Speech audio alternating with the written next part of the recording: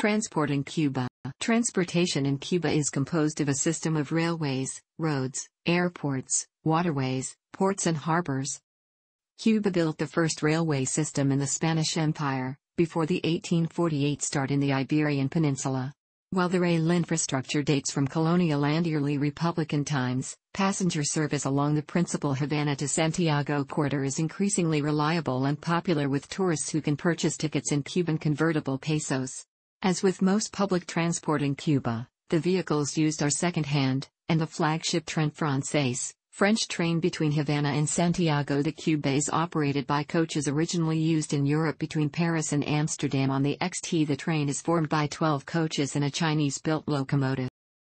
With the order of 12 new Chinese locomotives, built specially for Cuban railways at China Northern Locomotives and Rolling Stock Works, services have been improving in reliability. Those benefiting the most are long-distance freight services with the French train Havana-Santiago being the only passenger train using one of the new Chinese locomotives regularly. Various orders are in place for 100 locomotives from China and various freight wagons and passenger coaches. Metro systems are not present in the island, although a suburban rail network exists in Havana. Urban tramways were in operation between 1858 and 1954, initially as horse-drawn systems. In the early 20th century electric trolley or storage battery-powered tramways were introduced in seven cities. Of these overhead wire systems were adopted in Havana, Guanabacoa, Matanzas, Cienfuegos, Camagüey and Santiago de Cuba.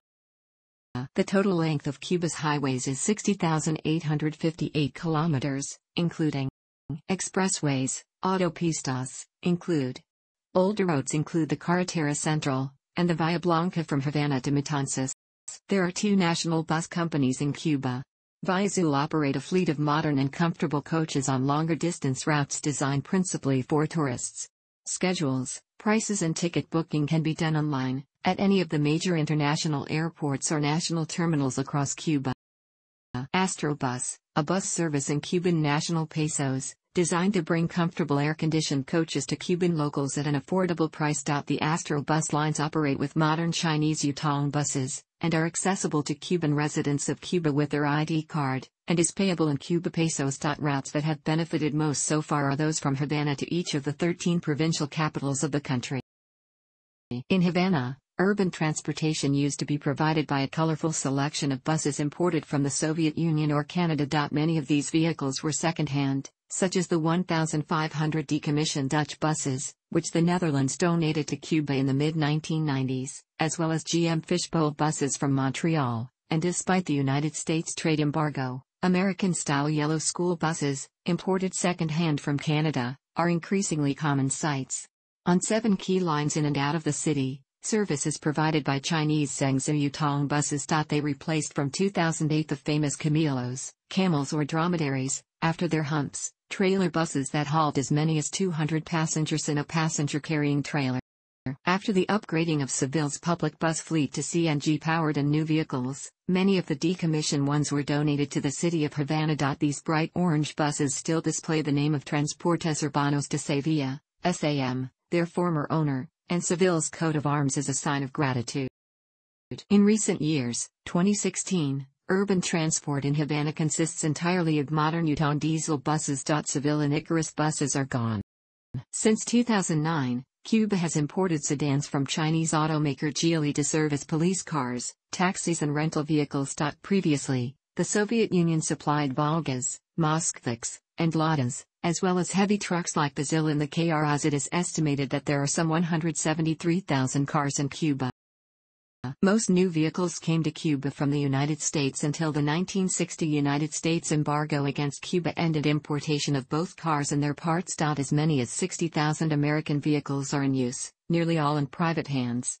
Of Cuba's vintage American cars, many have been modified with newer engines, disc brakes and other parts, often scavenged from Soviet cars, and most bear the marks of decades of use. Pre-1960 vehicles remain the property of their original owners and descendants, and can be sold to other Cubans providing the proper traspaso certificate is in place. In 2011, the Cuban government legalized the purchase and sale of used post 1959 autos. In December 2013, Cubans were allowed to buy new cars from state-run dealerships, Previously this had not been permitted. However, the old American cars on the road today have relatively high inefficiencies due in large part to the lack of modern technology. This has resulted in increased fuel consumption as well as adding to the economic plight of its owners.